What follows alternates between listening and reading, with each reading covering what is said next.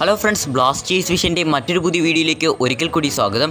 ഇന്നത്തെ വീഡിയോയിലൂടെ നമ്മൾ പ്രധാനമായും ചർച്ച ചെയ്യാൻ പോകുന്നത് കേരള ബ്ലാസ്റ്റേഴ്സുമായി ബന്ധപ്പെട്ട വളരെയധികം പ്രധാനപ്പെട്ട അപ്ഡേറ്റ്സും അതുപോലെ തന്നെ മറ്റു ചില ഐ എസ് എൽ അപ്ഡേറ്റ്സുമാണ് അതുകൊണ്ട് തന്നെ വീഡിയോ മുഴുവനായും തന്നെ കാണാൻ ശ്രമിക്കുക.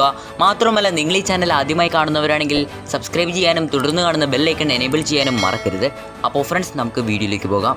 ആദ്യത്തെ അപ്ഡേറ്റ് ബംഗളൂരു എഫ് സി അവരുടെ ഇന്ത്യൻ മധ്യനിര താരമായിട്ടുള്ള സുരേഷ് സിംഗിന്റെ കോൺട്രാക്ട് എക്സ്റ്റെൻഡ് ചെയ്തിരിക്കുന്നു എന്നുള്ളതാണ്. രണ്ടായിരത്തി ഇരുപത്തിനാല് വരെയാണ് ഈ ഒരു താരത്തിന്റെ കോൺട്രാക്ട് എക്സ്റ്റൻഷൻ നടത്തിയിരിക്കുന്നത്. മറ്റൊരു അപ്ഡേറ്റ് ജംഷഡ്പൂർ എഫ് സിയുടെ സ്റ്റീഫൻ എസ് എയുമായി ബന്ധപ്പെട്ടതാണ്.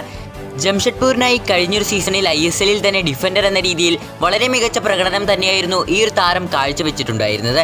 എന്നാൽ അദ്ദേഹം ഇപ്പോൾ യൂറോപ്പിൽ നിന്നും ഓഫറുകൾ തേടുന്നു എന്നാണ് ലഭിക്കുന്ന വിവരം. അടുത്തൊരു അപ്ഡേറ്റ് ഒഡീഷ എഫ് സിയുടെ കോൾ അലക്സാണ്ടറിനെ കുറിച്ചാണ്. അവരുടെ ക്യാപ്റ്റൻ കൂടിയായ ഇദ്ദേഹം അടുത്ത രണ്ട് വർഷം കൂടി ഒഡീഷ എഫ് സിയിൽ തുടരുമെന്ന് മാർക്കസ് മെർഗുലാവോ ഇപ്പോൾ റിപ്പോർട്ട് ചെയ്തിട്ടുണ്ട്. അടുത്തൊരു പ്രധാനപ്പെട്ട വാർത്ത നമ്മുടെ കെ ബി എഫ് സിയെ കുറിച്ചാണ്. ബ്ലാസ്റ്റേഴ്സ് ഒരു ഓസ്ട്രേലിയൻ ഡിഫൻഡറെ ടീമിലെത്തിക്കാൻ ശ്രമിക്കുന്നുവെന്ന് മാർക്കസ് മെർഗുലാവോ റിപ്പോർട്ട് ചെയ്തതിനു പിന്നാലെ അലക്സാണ്ടർ സുസഞ്ചറാണ് ആ ഒരു താരമെന്ന റൂമറുകൾ വന്നിരുന്നു. എന്നാൽ താനത് നിഷേധിക്കുന്നുവെന്ന് അലക്സാണ്ടർ സുസഞ്ചർ തന്നെ മറുപടി നൽകിയതായി റിപ്പോർട്ടുണ്ട്. അടുത്തൊരു അപ്ഡേറ്റ് ബ്ലാസ്റ്റേഴ്സുമായി ബന്ധപ്പെട്ട മാർക്കസ് മെർഗ്ലാവ് സൂചിപ്പിച്ച ഒരു വാർത്തയാണ്. ബ്ലാസ്റ്റേഴ്സ് നല്ല ഉയരമുള്ള ഒരു ഫിസിക്കൽ സ്ട്രൈക്കറെ തേടുന്നുവെന്നും ഹെർണൻ സെന്റാനെ പോലുള്ള ഒരു മിഡ്ഫീൽഡറെ ടീമിലെത്തിക്കാൻ ശ്രമിക്കുന്നുവെന്നുമാണ് അദ്ദേഹം റിപ്പോർട്ട് ചെയ്തിരിക്കുന്നത്. അടുത്തതായി ഞാൻ പറയാൻ പോകുന്നത് ഐ എസ് എൽ ക്ലബ്ബുകൾ ടീമിലെത്തിക്കാൻ ശ്രമിക്കുന്ന അഞ്ച് ഹൈ പ്രൊഫൈൽഡ് മാർക്കി താരങ്ങളെ പറ്റിയാണ്. ഒന്നാമത്തെ താരത്തിന്റെ പേര് മാരിയോ മാൻസ്കിസ് എന്നാണ്. താരം സ്ട്രൈക്കറാണ്. മുപ്പത്തിയഞ്ച് വയസ്സ് പ്രായം അറുപത്തിയാറ് പോയിന്റ് ആറ് ആറ് മില്യൺ മാർക്കറ്റ് വാല്യൂ. രണ്ടാമത്തെ താരം ബ്ലാസ്റ്റേഴ്സിലേക്ക് എത്തുമെന്ന നിരവധിയധികം റൂമറുകളുള്ള വിൽഫ്രെഡ് ബ്രോണി എന്ന ഐവറി കോസ്റ്റ് സ്ട്രൈക്കറായ താരമാണ്. ഇദ്ദേഹത്തിന്റെ പ്രായം മുപ്പത്തിരണ്ട് വയസ്സാണ്.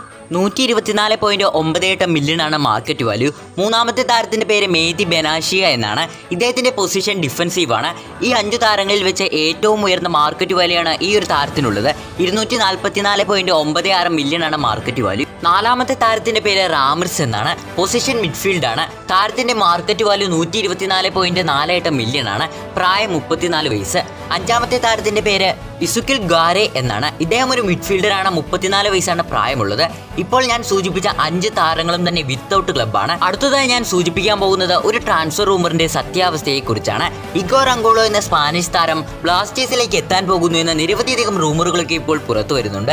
എന്നാൽ ഇദ്ദേഹം ബ്ലാസ്റ്റേഴ്സിലേക്ക് എത്താനുള്ള സാധ്യത വളരെയധികം കുറവാണ്. കാരണം ഈ ഒരു താരത്തിന്റെ പ്രായം എന്ന് പറയുന്നത് മുപ്പത്തിയേഴ് വയസ്സാണ്. അടുത്തൊരു സീസണിലേക്ക് വേണ്ടി കേരള ബ്ലാസ്റ്റേഴ്സ് ഏജ് ഓവറായ താരങ്ങളെ ടീമിലെത്തിക്കില്ല എന്ന് നേരത്തെ തന്നെ റിപ്പോർട്ടുണ്ട്. അതുകൊണ്ട് തന്നെ ഈ ഒരു താരം ബ്ലാസ്റ്റേഴ്സിലേക്ക് എത്താനുള്ള സാധ്യതയും വളരെയധികം കുറവാണ്. അപ്പോൾ ഇന്നത്തെ വീഡിയോയുടെ അവസാനിപ്പിക്കുന്നു. വീഡിയോ ഇഷ്ടമായ ലൈക്ക് ചെയ്യാനും കമന്റ് ചെയ്യാനും ഷെയർ ചെയ്യാനും മറക്കരുത്. ഇതുപോലുള്ള കൂടുതൽ I S L and K B F C വാർത്തകൾക്കായി ബ്ലാസ്റ്റേഴ്സ് സെക്ഷൻ സബ്സ്ക്രൈബ് ചെയ്യാനും മറക്കരുത്. Thanks for watching.